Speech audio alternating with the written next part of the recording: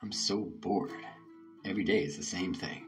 Pay my bills, check things off my to-do list, and watch cute animal videos online. I just don't see the point anymore. I'm about ready to give up. What the heck? A UFO! I knew we weren't alone.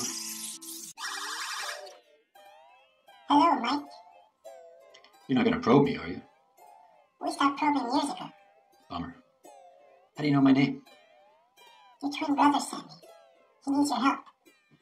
Is he okay? He's okay for now, but time is of the essence. Last I heard, he was in the Himalayas on a Buddhist retreat. Now you tell me he's been on some sort of cosmic quest this whole time? Sounds like there's a lot you don't know about your brother. And why should I trust you? You got something better to do? Let's roll.